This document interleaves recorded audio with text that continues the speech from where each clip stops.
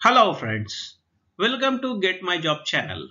In today's video, we'll see top 10 questions for cracking electrical engineer's job interview.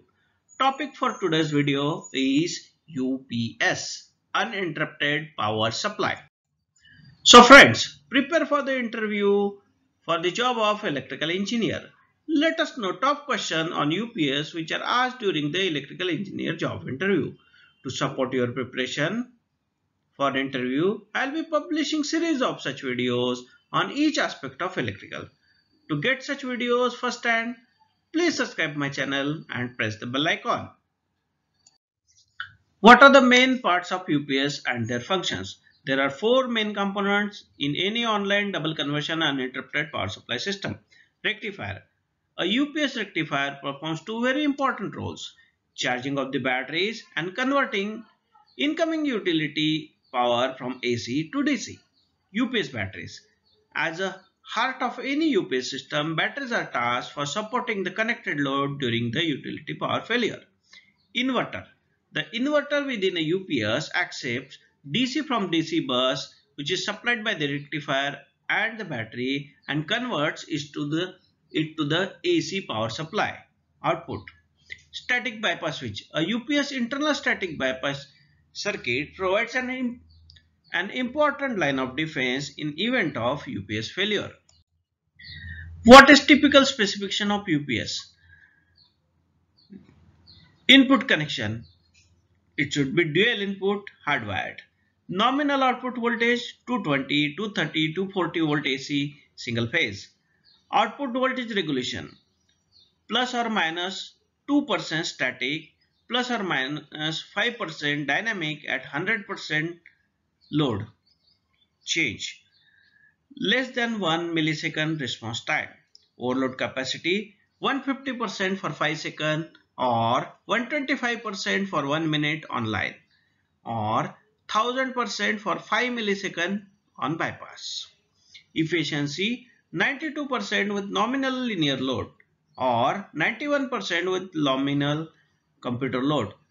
So friends, basically these specifications are indicated here for single phase UPS and these why I have given those those here are basically for indicating you the tolerance levels of UPS output voltage regulation, overload capacities and efficiency requirements.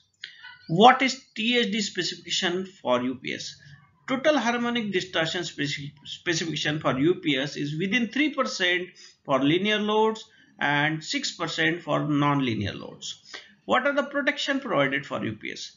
Protection against short circuit, overload, low input voltage, surge in input voltage as per UL 1449, overheat in the UPS.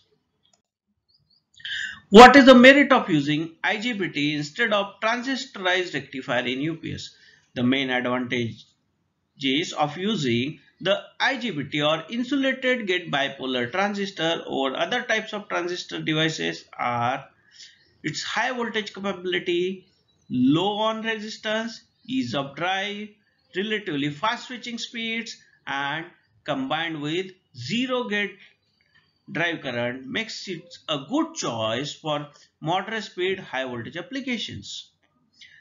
They have much more current handling capacities than the standard BJTs or MOSFETs.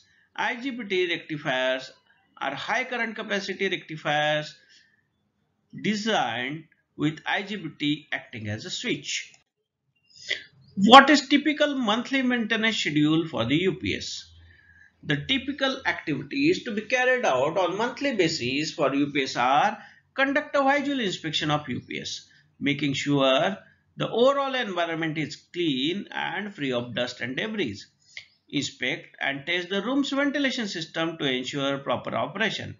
Inspect batteries for proper electrolyte levels and signs of leak. If a battery monitor monitoring system is in place, review the results of battery monitoring system measure the ambient temperature, measure the battery float charging current. If a generator is a part of building emergency power system and feeds the UPS, it should be tested monthly. and typically in addition to this you should look at cleaning of the filters if the filters are clogged for the UPS.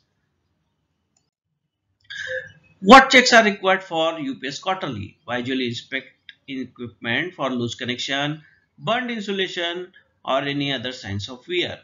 Measure the voltage of each cell or battery block. Measure the ambient temperature and negative post temperature of at least 10% of cells or the battery blocks. If possible, check all the cells.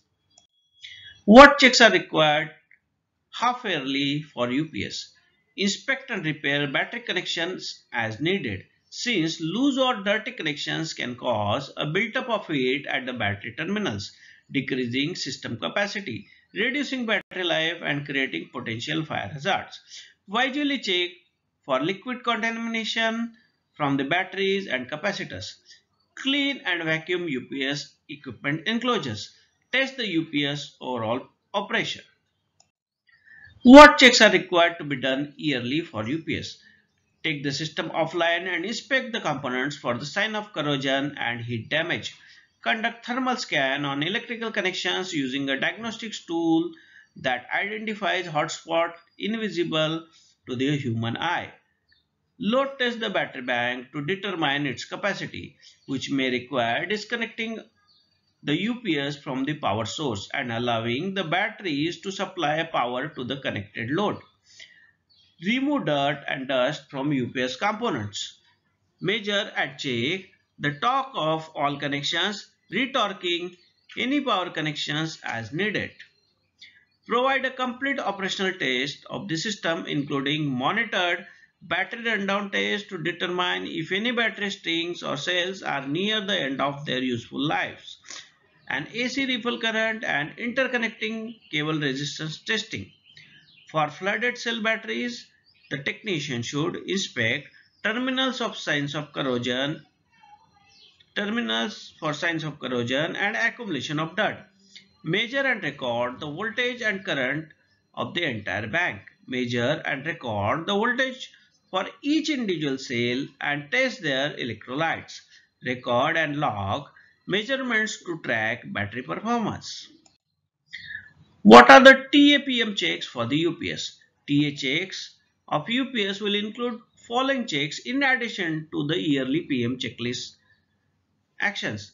Replacement of cooling fans, replacement of electrolytic capacitors in the capacitor banks, testing of SCRs or IGBTs, replacement of the spares as defined by the UPS manufacturer based on their lifetimes.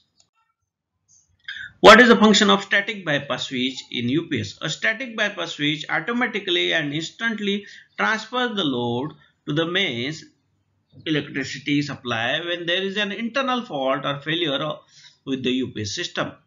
What is the function of maintenance bypass switch in UPS? An external maintenance bypass switch enables a UPS system to be electrically isolated, taken out for the maintenance for safe service work or UP unit replacement without any dis disruption to the load.